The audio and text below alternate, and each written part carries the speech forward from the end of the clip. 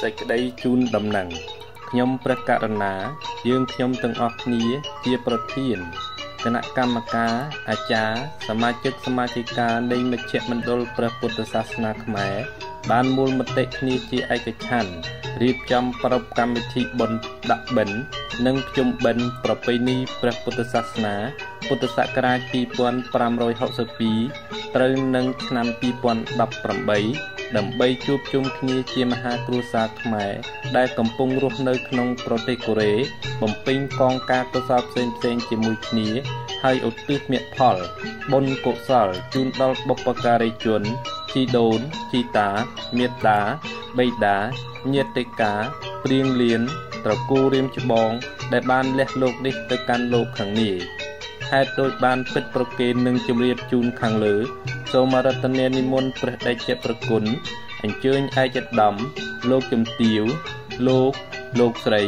អ្នកនាងកញ្ញា បងប្អូនជនរួមជាតិខ្មែរចូលរួមឲ្យបានច្រើនកកកកាលបរិឆេទថ្ងៃពុធ2រោចខែភទ្របទឆ្នាំចសំរិទ្ធស័ក ពុទ្ធសករាជ2562ត្រូវនៅថ្ងៃទី26ខែកញ្ញា ឆ្នាំ2018ម៉ោង9:00នាទីដល់ម៉ោង1:11:00នាទី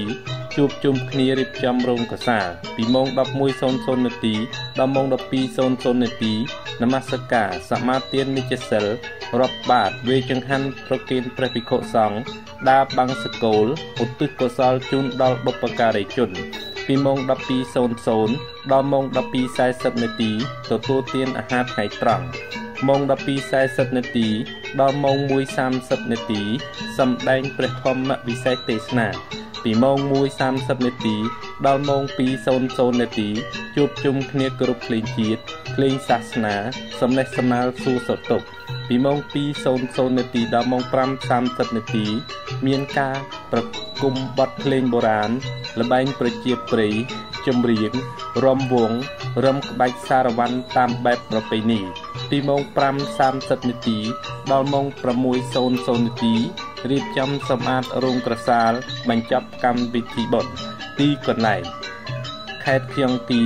ទីក្រុងអាន់សានខណ្ឌសាំងនុកខ្សែរថភ្លើងខ្សែលេខ4ចំណតសាំងនុកស៊ូ